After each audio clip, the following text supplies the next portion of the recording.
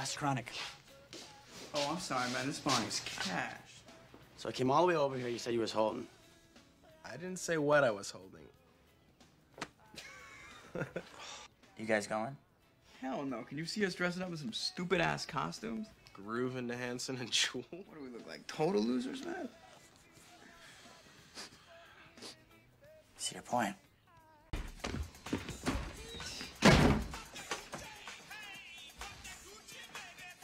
Oh, man. Yeah. I love this video. I didn't think they could show it anymore. Yeah. Guys! Hey, dickhead, someone killed my parents. It was the best part, dude. Oh, yeah. Shake 'em, baby. Hey. Look! What the fuck are doing, man? That's my dad. Come on. CPR, man. I saw it on Baywatch. What are you? You guys like flesh-eating zombies, back from hell, ready to exact revenge? Is that it? Why would we go to hell? Duh. We're not bad. It's not like we're good or anything, but at least we don't go around killing people. Yeah, I didn't kill anybody on purpose, okay? Yeah, well, we weren't in hell. I mean, there was this big bright white light at the end of a long tunnel, right? And there were all these chicks' voices and that music. Music? Yeah, kind of uncool music like Enya. And these chicks' voices, they were saying, Come to us, come towards the light. So what happened? I we figured, fuck it. I mean, it was really far.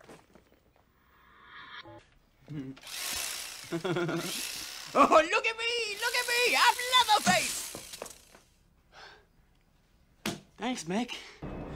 Okay, you guys go in the dance, protect Molly. I'm going after that fucking hand. What a waste. Oh, I thought you didn't like Curtis. I'm talking about that ass. Well, at least he died happy.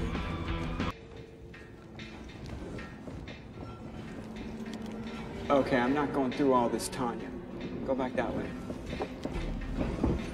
You're really not gonna get me. It's just unfair. Well, you can go back if you want to get a piece. I was always so mean to them.